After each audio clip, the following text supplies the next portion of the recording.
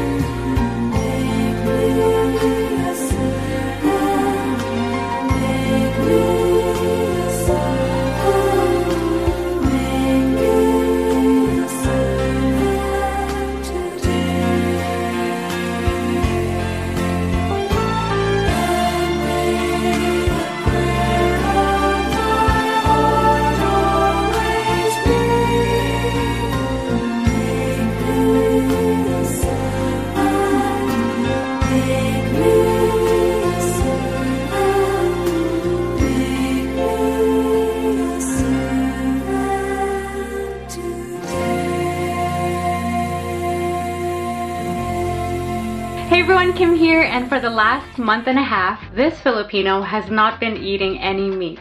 This idea has been presented to me many times before, but my reaction was usually, oh my god, I cannot. Hashtag meat is life, hashtag protein. But something in my thinking changed and in turn my body changed as well.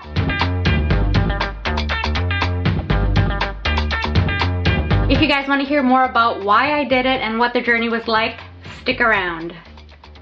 So the night before this big decision, I had a big plate of meat for dinner and probably like one piece of broccoli. I went home that night and I had heartburn, my stomach was feeling funny, I couldn't sleep, and the thing was, this wasn't the first time that I felt this way. It was starting to happen more and more. The next day I decided that, you know what, I'm gonna stop eating meat for a month, just a month, and see what happens. The first thing I did was go to the grocery store and to be honest with you guys, my first grocery haul was pretty boring. I wanted it to be exciting but at the same time I didn't know much about different vegetarian menus. I wanted to buy fancy things like chickpeas but I didn't even know where to find chickpeas. Do they come canned? Do they come in the bulk section? Do they come dry?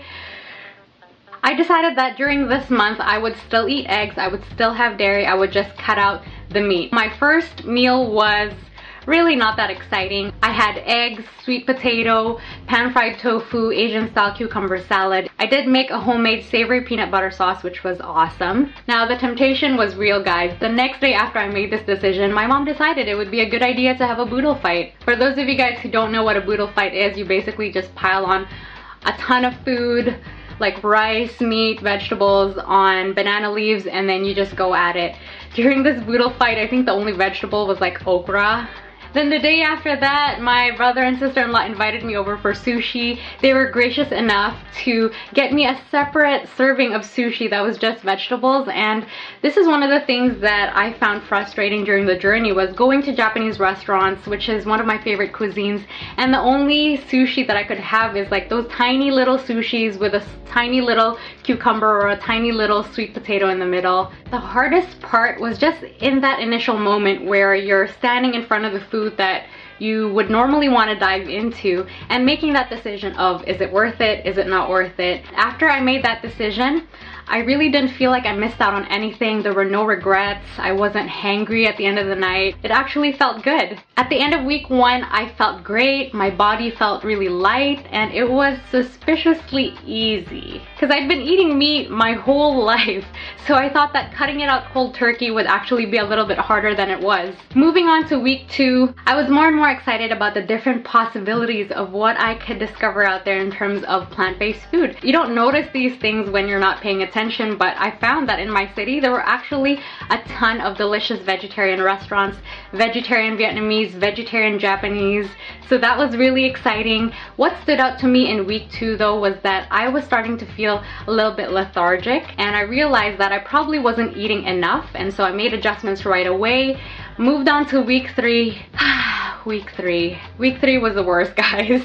Week three, I was bloated. And when I say bloated, I mean like I looked pregnant, kind of bloated. This is where the mental challenges started because I was so tempted to allow myself to think thoughts like, well, you failed again, Kim. What a waste of time. I really had to fight through those thoughts and just be patient with the process, knowing that this is part of the journey, which leads me to another reason why I wanted to do this. I'm a big believer in the saying that how you do anything is how you do everything. Meaning to say, for example, if you are sorta kinda committed to going to the gym, then you're probably also just sorta kinda committed in other areas of your life. It was a big wake-up call for me to realize that I'm really mindful about what I let into my head, the thoughts that I allow to live inside my head, good stuff in, good stuff out. Then I realized that, okay, I think that way about my mental health, but what about my physical health? I wasn't exactly being mindful about the things that I was eating. And so this really drove me to do this, even though sometimes it's so easy to say, oh, I'll just eat a little piece of meat here, no one's gonna notice or no one's gonna know. So I patiently got through week three and this is TMI. But at the end of week three, literally on day seven, I had the biggest, biggest toilet release ever. it was as if my belly was a balloon and someone just popped it and it deflated. It was crazy. Week four came and went and honestly, I didn't even immediately notice that my one month commitment was over. It's so true that sometimes things get worse before they get better. And usually when you're at that point where you have the strongest temptation of quitting, that's when you're probably the closest to a breakthrough. During this month and a half, I kept everything the same. My workouts were the same. I still took the same supplements. I still had the same sleeping routine. Everything was the same. I just cut the meat out. Now, I'm not saying that this lifestyle is the be all and end all. Everybody's different. Everybody has different motives and convictions. For example, I didn't start this because of animal rights or anything like that. Love animals, but it's just not my conviction. You guys need to find a reason why for yourself. Otherwise, it's really hard to make a long-term lifestyle change. What I can tell you is that it's been a month and a half and I'm still going. I feel great. Am I gonna be meatless forever? Maybe, maybe oh not. Make it ever true. Change my heart, oh God. May I be like you. Change my heart, oh God. Make it ever true. Change my heart, oh God.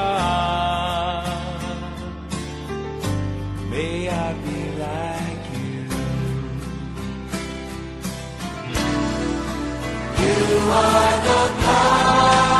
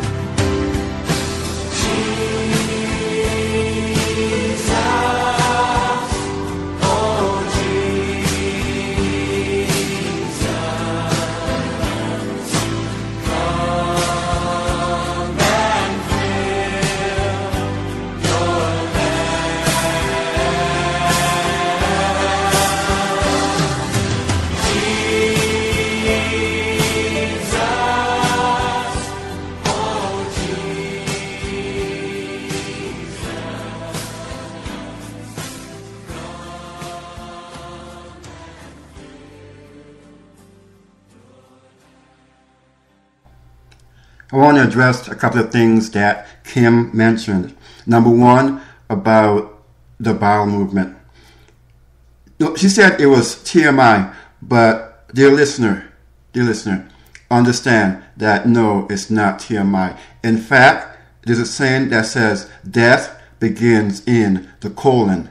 And the two worst enemies of the colon are cheese and meat. And for cheeseaholics and meataholics, you have no idea what you're doing to your body.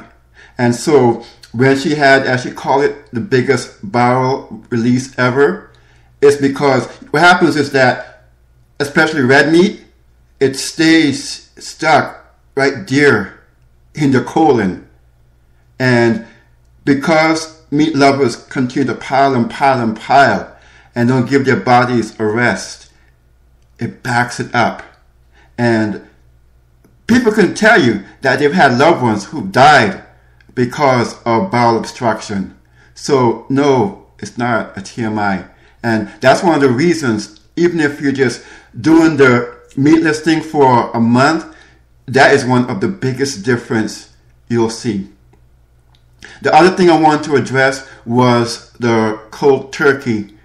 And funny word to use when you go meatless, right? But for me, especially, and I'll share more later on, but it wasn't really cold turkey because little by little I was taking the meat and giving it to other people. I know in hindsight I was wrong, but that was my way as a kid, 18 year old kid, in coping with the transition from meat eating to not eating meat.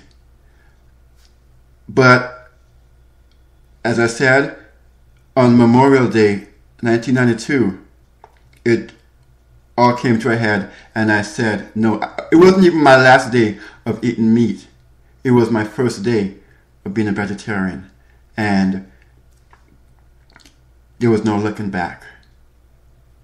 Another thing is the importance of understanding that it is a lifestyle change.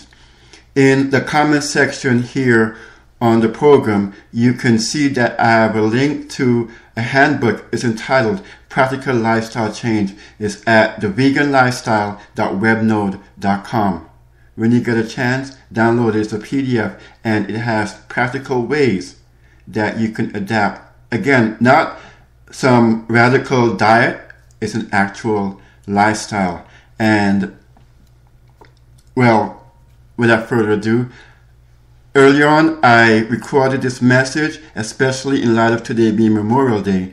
And right after it, I'll come back and share more of my testimony. But right now, I would like for you to hear this message that I recorded earlier in light of today being Memorial Day. And I know that many, many people will not be so keen to accept the meatless Monday challenge on the biggest meat eating day of the year here in the United States. Hello everyone, this is Vernon the Wordmaster. I want to share a short message with you on this Memorial Day. 26 years ago today, I decided to do something for me that was really hard. That was, of course, give up meat. And the reason why I say it was hard is when you come from a culture who's, you know, you don't get the best of vegetables and fruits and grains and all that you're fed is chicken and beef and all kind of meat. It was hard to let it go. But for health reasons, I definitely had to let it go. And I thank God because actually these days, especially right now, you know, when the world is in such a chaotic state, I really believe that the mind body connection has a lot to do with how many of us are able right now to function. Because we are not contaminated with the hormones that they pump into these meat products, our minds are sharp and alert and able to think rationally. Now, I'm not condemning anyone for their meat eating. In fact, this message on Memorial Day is an actually celebration of life. And that's why I wanted it to be in conjunction with the aspect of meat because those men and women boys and girls who gave their lives that we're commemorating today. They did so so that you and I could have the freedom to eat, drink, wear, talk, anyhow, any way that we feel. Their blood was shed so that this great country of ours would remain free. Now, while I don't think that it's appropriate to honor the dead, by the wholesale massacre of cows and chickens and all types of things that you'll be barbecuing today, again, it is your right to do so. I just want to offer an alternative view. Not alternative fact, but an alternative view. And that is, I'm encouraging any of you who are so desirous of making today a point in which they say no longer. I hope that today, even on this very hard day, will be for you a meatless Monday that will carry on for the rest of your life.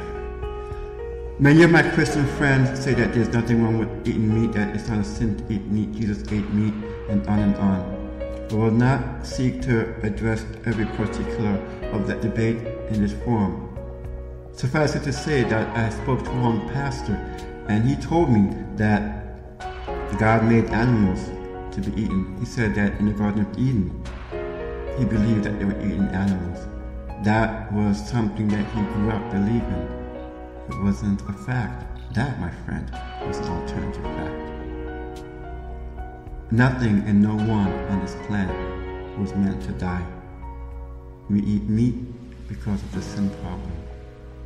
I'm telling you, beloved, that part of the sin solution is to going back to a plant-based vegan diet. And I encourage you right now who are listening to this to make a decision right now. You know what? I'm going to make it easier on you. Say you bought a whole lot of meat that you're barbecuing today and you feel the unction that, well, you know what? I want to live healthy. I want to be healthy.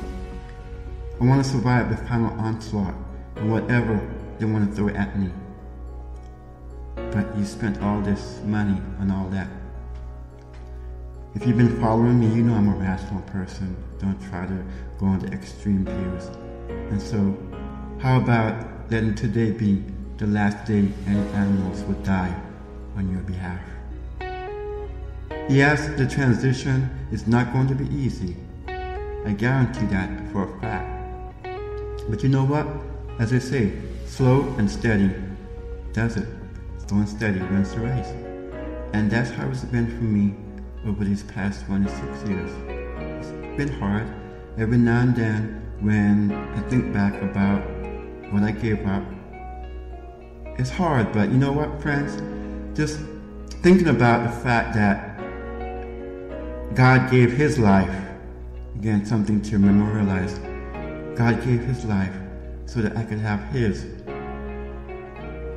I want to live this life having His body as a holy temple. And from the research that I've done, the animals that we get fed today aren't healthy at all. The way that they're produced, the way that they're processed, the way that they are shipped and marketed to you, beloved, they're not healthy. Mind you, because of sin, even the best vegetables on the planet, the best fruits on the planet, aren't healthy. Yes, they too have become contaminated by the sin problem. But you know what, friends? Those were the things that God ordained in Genesis 1 to be our food. Those were the things that He created to maintain life. And speaking of which, friends, again I must say that eating whatever, either a vegan diet or a meat diet, it doesn't sustain life. Only God does that. But what God has given us to maintain our life ought to be the standard. And on this Memorial Day, I want you to remember what Jesus did for us as believers in laying down his life and making the ultimate sacrifice. Friends, my eyes have seen the glory of a better land. And yes, I know stopping the way that you eat is not going to guarantee you there.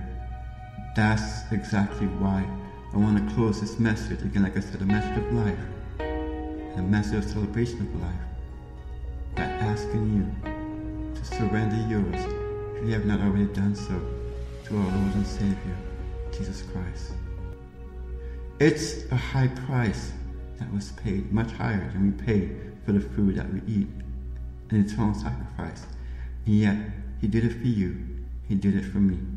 And I pray, by the grace of God, that today, on this Memorial Day, will be the first day of the rest of your life. May God bless you.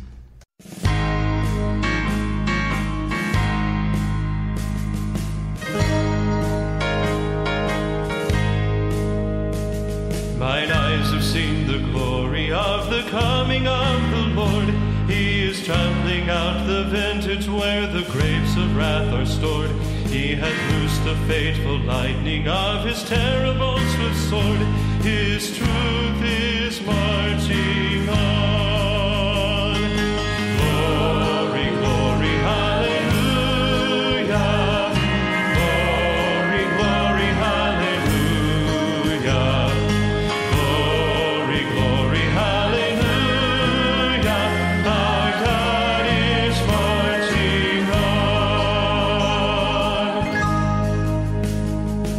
I have seen him in the watchfires of a hundred circling camps. They have builded him an altar in the evening dews and damps. I can read his righteous sentence by the dim and flaring lamps. His day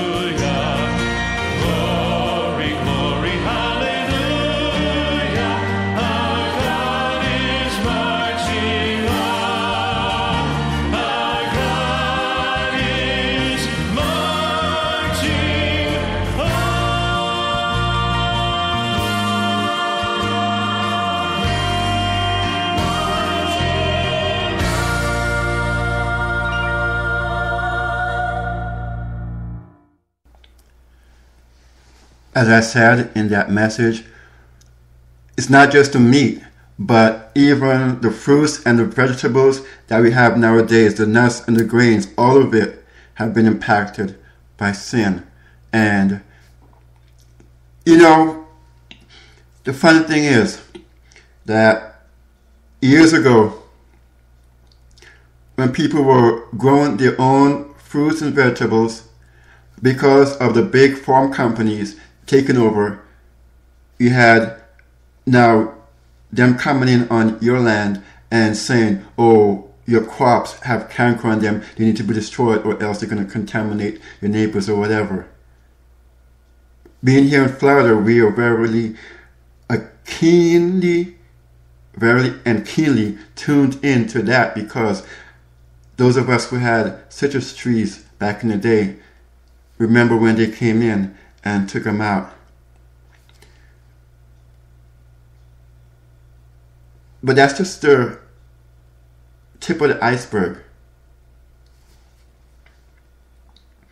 Now you have to go to stores and get quote unquote organic products. And who knows if they're just putting on a label that says organic. So, on whichever side of the issue you stand on meat, not meat, there are going to be problems. But the thing is, beloved, that God has given us His Word, and we said it, we read it in the introduction, Genesis chapter 1, verse 29. God's original plan was for His creation to be a plant based organism. Not just man, but the Bible went on in verse 30 to let us know that even the animals were supposed to be vegetarians, plant eaters, not eating each other. And so it stands to reason that if our original and if the diet that's best suited for us is a plant based vegetarian diet, then I have to believe that when you have done all to secure the health and safety of your family, and you sit at the dinner table and you pronounce and ask for a blessing upon that which God has graciously provided you with, then all will be well. Friends, it cannot be so with products that were not designed for the human body to consume. Now, yes, indeed, mankind has adapted to be able to eat meat. And I do mean that eat in terms of not the digestion, because, like we just said, death begins in the colon, but the teeth, the esophagus, and the stomach have been adapted to tear, to chew, to get down, and then in the stomach to break down. But like I said, once it hits the colons, all bets are off. Not so with enzyme rich fruits. Not so with fiber rich vegetables. Beloved, understand that we're in a race against time. We're up against the clock, and God has given us a way to not just slow down the aging process, but to have sound minds like Daniel and his three friends did in the courts of Babylon. And that's the crux of the matter. Because you see, friends, those of us who are in those of us who are Christians understand the spiritual warfare that we're in, and in the times that we're living in, we definitely need to be of a right mind. Just as today we are commemorating the men and women who laid down their lives as the ultimate sacrifice, I want to lay down a challenge to you listening right now. Like I said, today you may have planned to be with your family and your friends for Memorial Day to partake of the barbecue chicken, the barbecue ribs, the barbecue this, that, and the other. So, I want to make this a compromise that today will be the last day that you eat meat for a while. And then starting tomorrow, and then every day after, and the day after, you decide to adopt a plant based diet. And like Kim said earlier on, you wouldn't exactly know what to do, what to buy, what to get. And that's why it's so important, especially in this information age, to do research. There's countless resources out there on the net that will help you to put together a good shopping guide and to help you to understand what entails being a vegetarian, vegan. Now, for those of you who have health issues, I want to be clear that the first thing that you need to do is contact your physician and get his or her advice.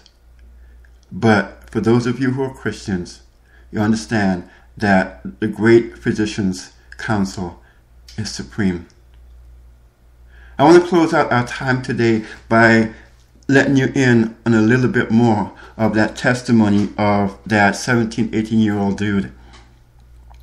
You see, I, from the time I was young, I had real bad breathing problems. And every time I would get sick, a cold or whatever, it would just be inflamed. And I would later find out that it was bronchitis. But being in school and having to walk from one class to the other, by the time I stepped foot out of my class to the next class, when I had one of those episodes, it would be like, as the commercial used to say back in the day, fish out of water. Fish without water. And there came a point when it was so severe that I said, enough is enough. I had to get away from the meat. Funny enough, the catalyst came from my science teacher, the biggest evolutionist on the planet, the biggest person who has nothing to do with Christianity. But him telling the class how they make sausages, hot dogs, it just it just propelled me to go forward. And so, like I said earlier, I began to eliminate certain meats from my diet I would just have, you know, whatever else came with the meals until May 30th, 1992. And I mean, at my house, I have never seen so much meat in one place. And I made a decision to not eat meat. I had made it from that morning. But, and I remember this, that one person said, come on, you could start tomorrow. And I said no.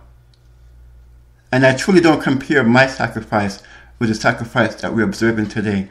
But it was, I mean, it was hard to resist. But like Kim said early on, when and how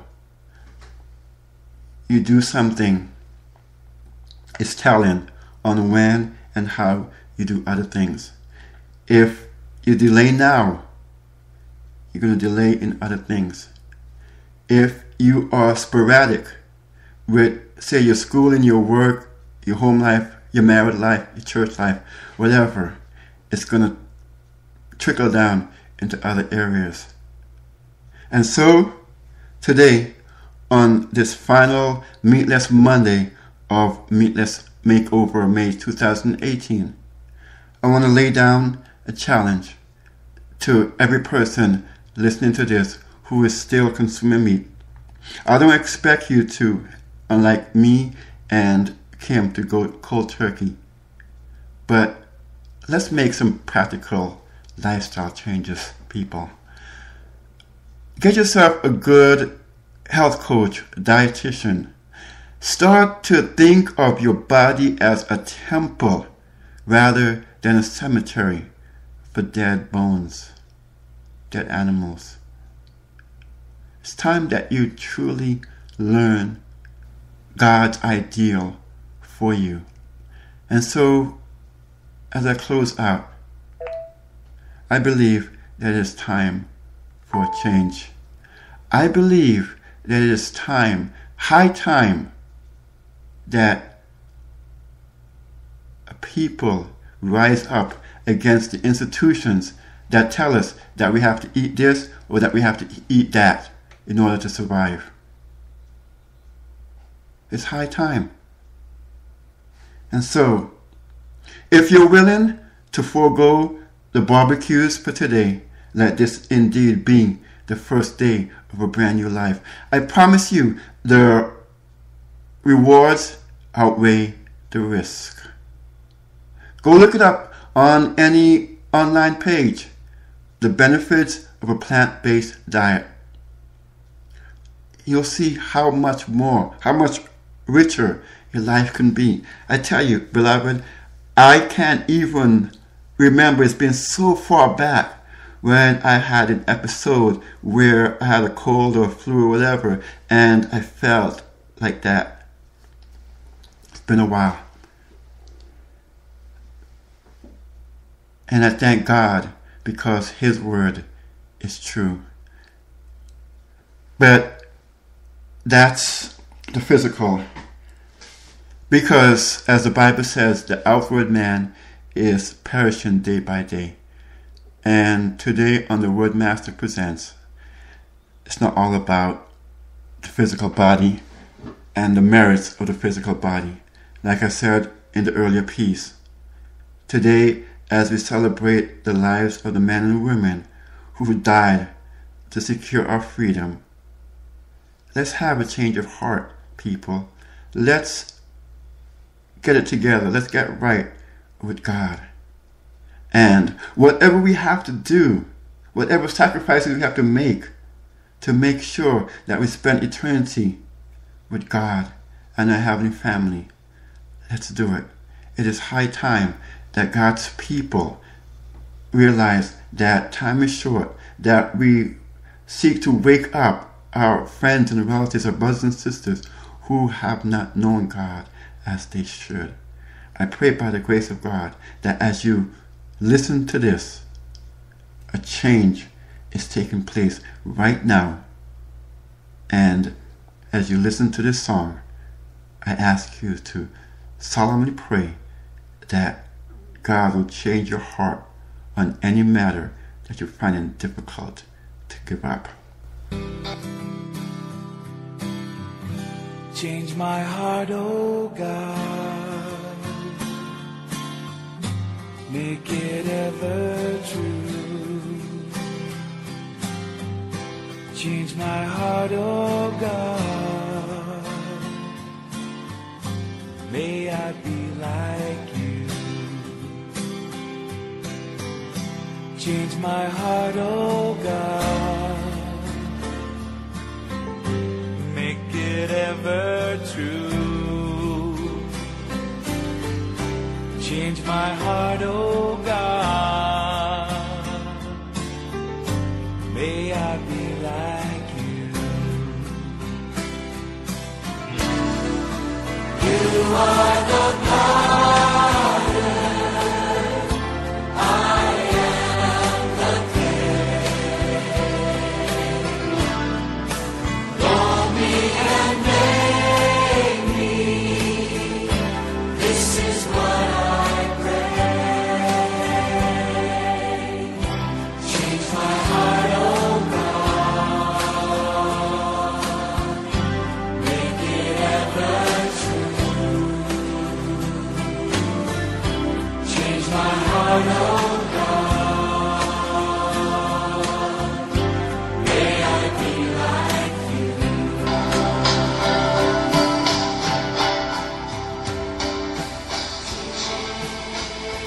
Heavenly Father, I want to thank you first and foremost for Jesus Christ, who paid the ultimate sacrifice that we may have freedom, not just here in this life, but throughout the ceaseless ages of eternity.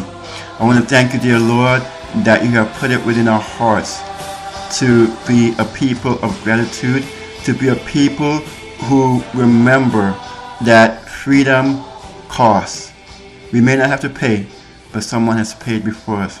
And so, dear Lord, on today, as we honor the men and women who gave their lives, I pray that we honor that memory by living the best lives that we can, by doing that which will preserve and prolong the life which they forfeited to give us. I thank you and I praise you, and I give you all the glory that's due to your name. In Jesus'